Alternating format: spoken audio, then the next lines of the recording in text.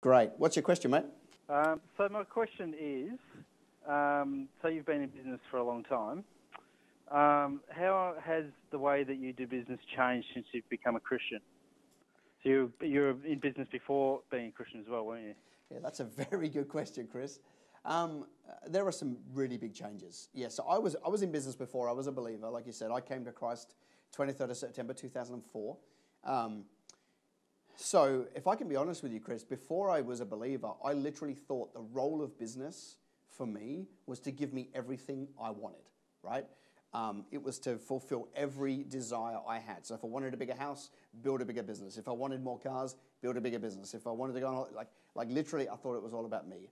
Uh, when I came to Christ, I were, you know, I'm one of those people all in or all out. So I started reading scripture a lot from an early stage and, and was reading about business and commerce and, and, and economy and things like that. And, um, and I realized as soon as I started reading scripture that the world – around me was nothing like the world that God had suggested we build. Right? So when you read the early scriptures, God kind of gives us a blueprint on how to create a society and a culture that helps everybody, and we don't have anything like that now. So what, what I realized over time was business does have a role in the kingdom of God, and it's to be the funding model, and it's to have influence, and it's to shape culture.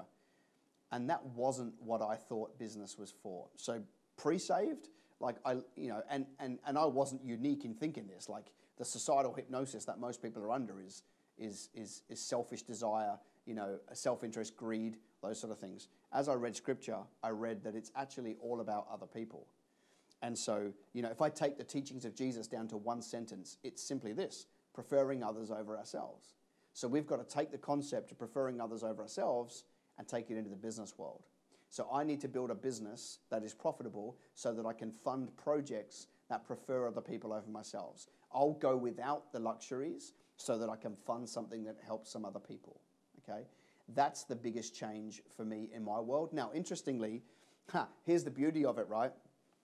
You would think if you applied carnal knowledge that if I don't get the next upgraded car and I give the money away, I missed out.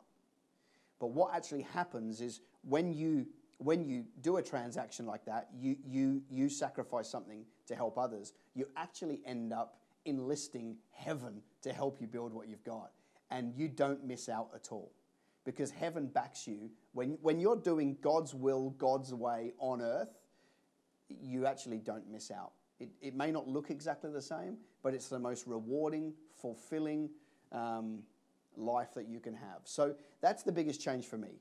It went from a, you know building businesses for myself to building businesses for others and the kingdom. And and I think when that change takes place in our head, it actually takes a lot of pressure off because we're now collaborating with the king of the world and not having to do it all in our own strength.